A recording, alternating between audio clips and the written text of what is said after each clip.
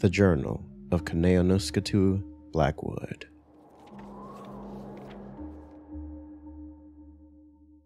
My name is Richard Dunkelstein, and I have a hobby that is more interesting than most stamp and coin collectors. I am a bit of an urban explorer. In today's day and age, when most of the world had been investigated and mapped out, I instead sought to explore the abandoned and forgotten. I reasoned that it was in these places where I could find the extraordinary. I enjoyed my forays into the disused and neglected portions of the city.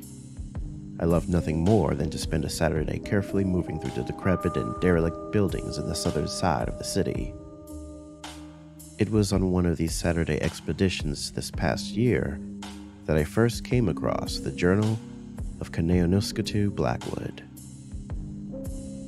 I had been rummaging through an abandoned building on the industrial side of town when I discovered the journal. The first few floors were devoid of anything really interesting, but when I reached the sixth and uppermost floor, I found a soiled mattress and desk. Sitting on the desk was a fountain pen and a paper journal. I ignored the saccharine sweet smell that flooded my nostrils and pervaded the uppermost floor. I sat down on what was the squatter's mattress and began to read.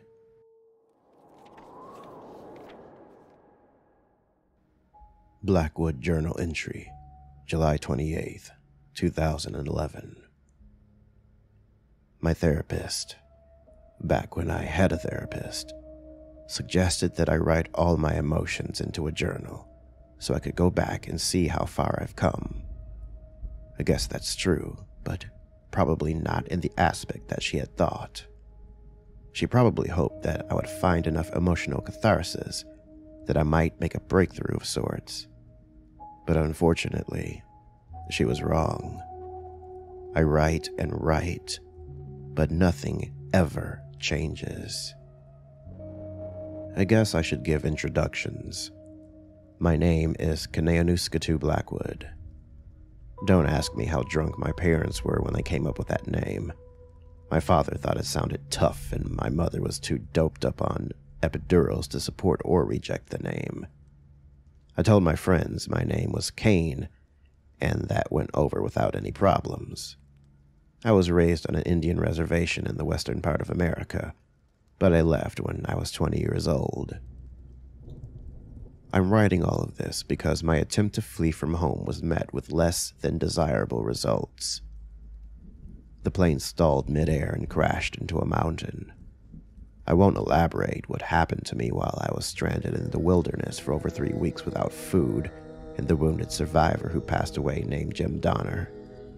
I will only allude to the fact that it ended with me being tried for murder in court. I don't feel it necessary to expound on this, as shortly after my court hearing, my journal that I had typed while awaiting trial was made public. I believe he's talking about this. Even though I was declared not guilty by the judicial system, the release of my journal made me into a pariah. I couldn't live in one place for too long. As soon as the people placed my name and face to the tragedy, I had to leave. Their looks of disdain and harsh words were too much for me to bear. I was and am a social exile. I only did what was necessary to survive. I believe that anyone who had been in my situation would have done the same, but no one seems to be willing to step up to that challenge of being without food for three weeks and having to eat your only friend. I received a small sum from when I pressed charges against the airlines that had put me in that fiendish situation. But once my sentiments came out, their support and funding dried up. I found myself an outcast. I moved out to New York. It was the only place where someone could be swallowed up in anonymity. I lost everything my identity, my ability to sustain myself my pride. I had once asked the gods for a new start. Unfortunately, I didn't know that the gods were cruel and sarcastic, when I offered up that supplication. I got my wishes in spades. I live my life day to day on the streets. My frostbitten deformities make begging a rather easy thing. The tips of my fingers and nose have gone black. I don't have any more sensation in them, which took some getting used to, but doesn't even phase me now. I am still gaunt like a skeleton, even a year after the plane crash that resulted in my near starvation. I earn enough begging to keep myself fed.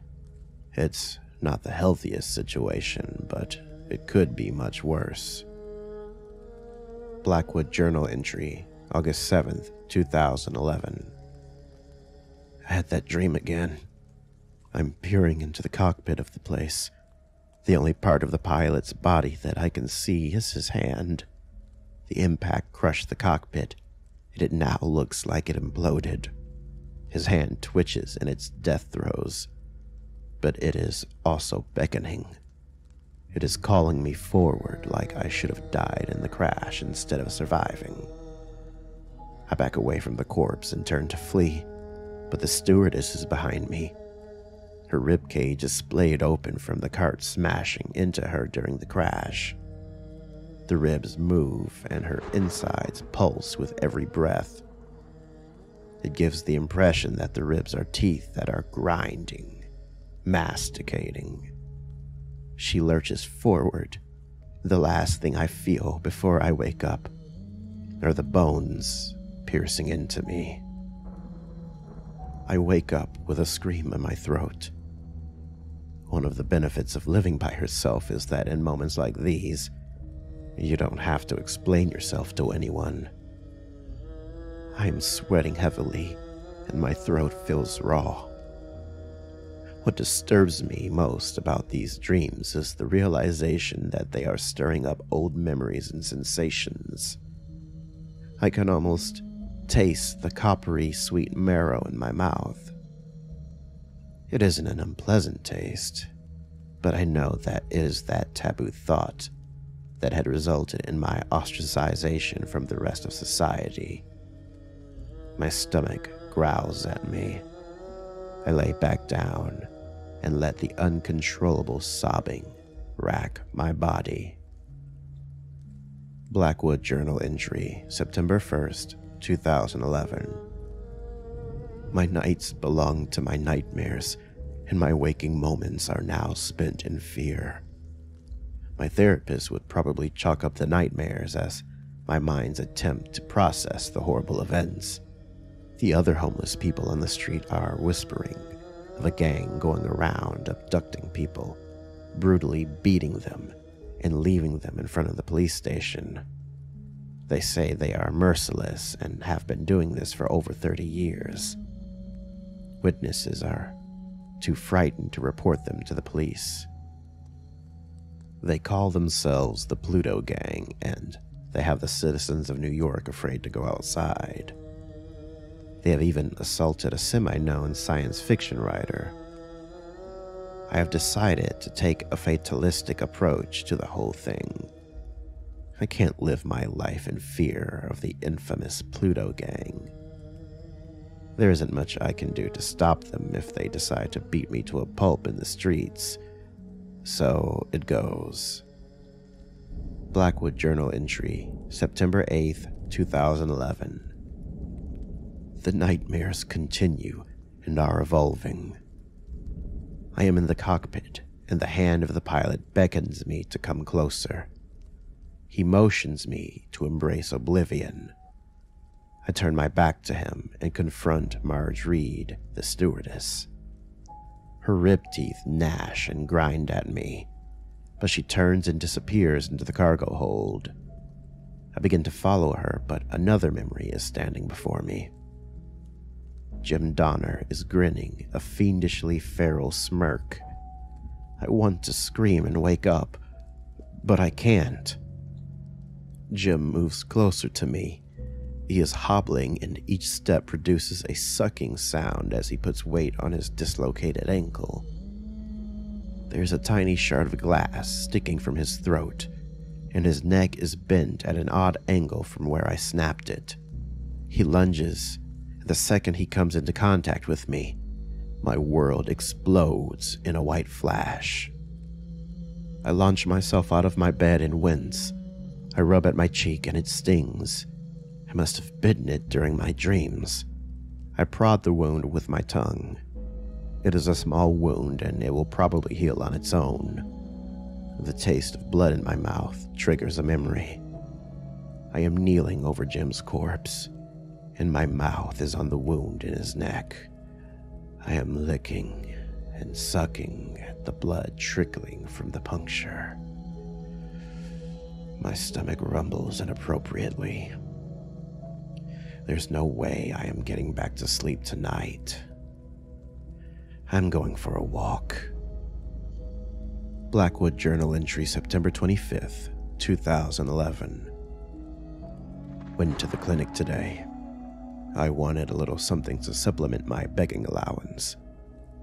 I heard from other beggars that if you're in good shape, or at least not riddled with disease, you could get 40 or 50 bucks for an hour of time. I waited in the lobby while the secretary stalled. I could tell that she didn't like the look of me. I can't blame her. I look like I have some horrible necrotic wasting disease. When it became evident that I wasn't going to leave, she called my last name and I went into the office with the doctor. He strapped my arm down and stuck the IV in and began to filter my plasma. It wasn't until I physically tethered to the filtration machine that I realized he was looking at me. At my frostbitten fingers, specifically. I tried to explain that these were injuries I suffered from after an incredibly cold winter in New York, but the doctor recognized me from the high publicity court case I didn't know my picture had been splashed all over the world by the media while I was awaiting trial. I thought that giving the nurse the pseudonym Jack Fiddler would be enough to deflect suspicion. While I was stuck waiting for the machine to finish separating out my plasma, the doctor grilled me about my experience during my time when I was stranded on the mountain. I gave non committal answers. Being stuck in a frigid environment was kind of shitty, and spending three weeks without so much as a crumb to eat was pretty bad. It wasn't until he asked what it was like to eat another person to survive that I became agitated. I tore the IV out of my arm and stood up. I fled the clinic without receiving any money for donating plasma, but I had to get out of there. Blackwood Journal, entry September 29th, 2011. Got drunk today. I had no real reason for getting wasted. I just wanted to. I never used to drink back when I was living on the reservation. Blackwood Journal entry. The page is stained with a reddish brown substance. The dreams are back. Well, that's not true. They never left but I had found myself lulled into a false sense of security by the repetitiveness of the nightmares. The beckoning hand, the savage stewardess, and Jim were now commonplace. I had seen them so much that it was like greeting an old and familiar dream. The dream I had last night was different. Jim appeared before me, he had been standing in the nest of clothes that I had made to keep us warm back then. He looked like he had always looked in my dreams. He had the shard of glass sticking out of his throat, and the deep purple throttle marks were on his neck. He began to shamble towards me on his dislocated ankle. As he got closer, I realized that he was completely covered in bite marks. Parts of him had been torn away, exposing the red, sinewy muscles underneath. He shuffled up the aisle, and I wanted to run away from him, but I found myself inexorably drawn towards him. A small amount of blood was dribbling from his throat, and his head lolled back and forth with every shuffling step on his broken neck. I stepped forward, and now I was only a few feet away from him. He smelled like rotting flesh and whiskey. He lunged, and the instant he touched me, I woke from the dream. The memory, the taste of his flesh was fresh in my mind. My stomach wasn't growling. Blackwood Journal Entry, November 26th, 2011. The Pluto gang is at it again. So it goes. Not only have they been abducting people, but now they can add murder to their repertoire. Word has been going around that a man was recently found in an alley. He had been brutally beaten to death. Police have been pretty tight lipped on the whole deal, but rumors have been going around that he had been so violently stabbed and beaten that the funeral will be a closed casket affair. I don't know if it really is them or there are copycat gangs running around using their modus operandi, but I do know that it has me on edge. The building I'm squatting in is a few blocks away from any of the other squatters. I don't play nice with others, it would seem. They could assault me and I could scream bloody murder, and not a soul would hear me. Blackwood Journal entry, December 24th, 2011. It's freezing here. I mean, it could be much colder. I have experienced colder weather, but I would prefer not to experience it again. That is why I have a can of Sterno with me. I bought a few at a gas station I didn't even know that they made it anymore. It is lit and the flammable gel is casting off a blue flame. As long as I stay within the heat radius of it, I will be fine on the colder nights. The gas station attendant asked me if I was going to drink it. I have seen a few of my older, more alcoholic neighbors back on the reserve strain it through a sock and drink it. They called it squeeze. It's a quick and easy way to go blind. I politely let him know that I was using it to fend off the cold. I wanted nothing more than to throw it in his face and set him aflame. I've been noticing lately that I've been getting agitated easily and without much provocation. Blackwood Journal entry, January 2nd, 2012. I have had a bit of a revelation of sorts. Blackwood Journal entry, January 3rd, 2012. I guess I need to elaborate on that. The pieces of the puzzle were before me this past month or so. It wasn't until the dream last night that I began to reassemble the puzzle. The quickness in which I would lose my temper, the tonal change of my dreams, the lack of hunger, I now know what is happening. I'll tell you of my dream. It began like all the other reoccurring dreams I had had since the plane crash. I watched the convulsing and clutching hand of the pilot. I sidestepped the stewardess whose body was split open and masticating like a mad dog. I moved down the aisle and confronted Jim Donner, Something was different this time. It didn't end in a white flash. As soon as I touched him, I was on him. My hands wrapped around his throat as he feebly beat at me. I watched him die. I began my macabre feast. Once I had had my fill of him, I stood up and went to the door that led to the cargo hold. Everything was so clear and prescient. I knew what was going to happen next. It was more like a memory than a dream. During the trials, I couldn't remember anything during the time in the cargo hold, but now it was clear as day. The door swung open, and the stench of week old death wafted in from the inky blackness. I stripped off my jacket and makeshift gloves. I wouldn't need them anymore. I was where I belonged. The memories.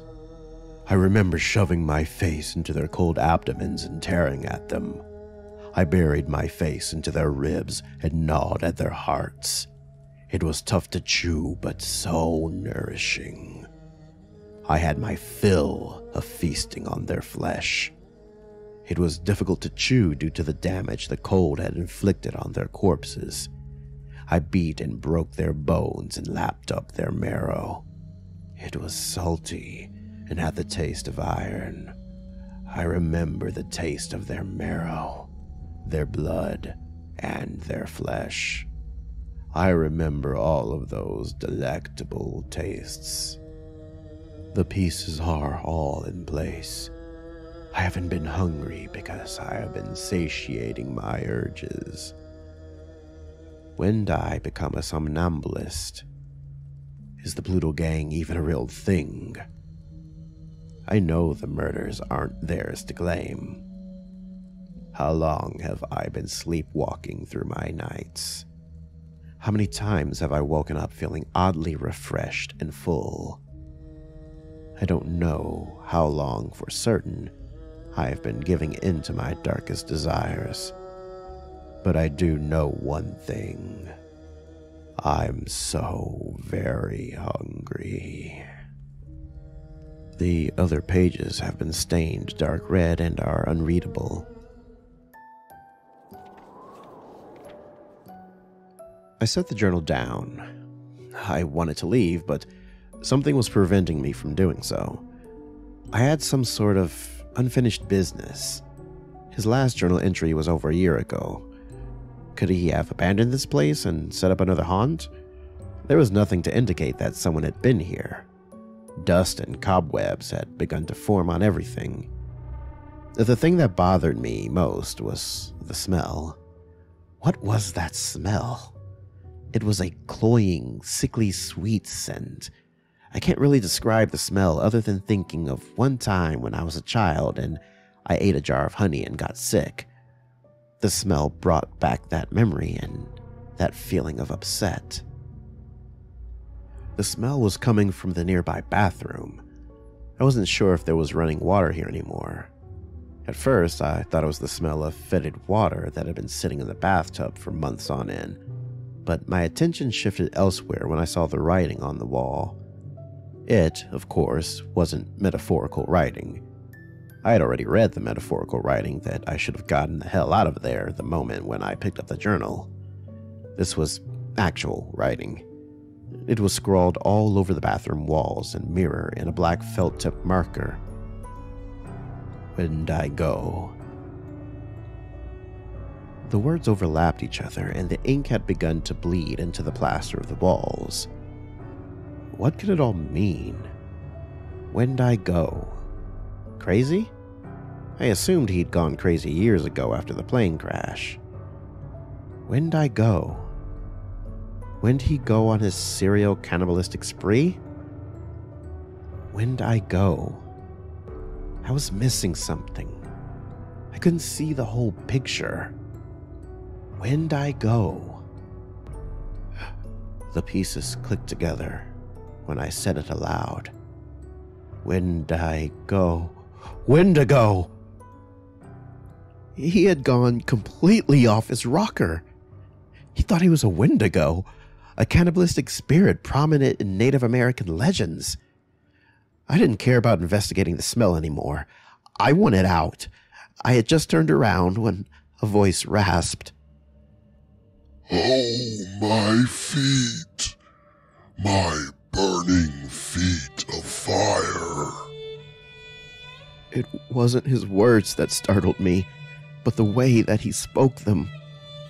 It was somewhere between an inaudible noise and a whisper, but the sound of it ground into my ears like sanding paper.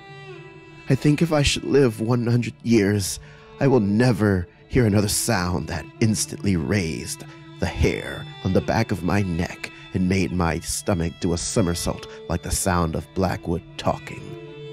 It sounded like this was the first time he had spoken in months. He was just outside the bathroom, and he was waiting for me to show myself. I slowly exited the bathroom and found him standing in the doorway. He, no, it, because he barely looked human now, exalted a rattling gasp. He was bone thin. The tips of his fingers and nose were black and necrotic. His eyes were sunken sockets in his head, and they regarded me with a feverish fervor that reflected insanity itself. The blackened skin had drawn back from his nails, and it gave him the image of having claws. He spoke like a radiator rattling a bolt around in its tubing. Did you read my journal? I nodded, too paralyzed by fear to speak. He paused for a moment longer than a standard bleak and asked, Well, did you like it?